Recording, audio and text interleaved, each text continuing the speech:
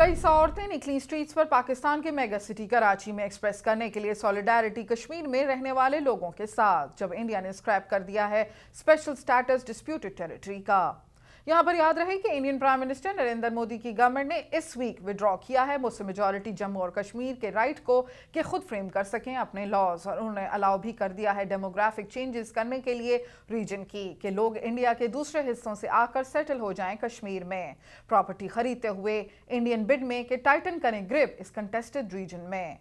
जबकि कश्मीरीज देखते हैं मोदी के इस डिसीज़न को विड्रॉल ऑफ़ स्पेशल स्टेटस को ब्रीच ऑफ़ ट्रस्ट के तौर पर। जितना कुछ इंडिया ने वहाँ पर कतलेआम किया है, इसका हिसाब इन पर जो है जंगी जराइम के मुकदमे बनने चाहिए।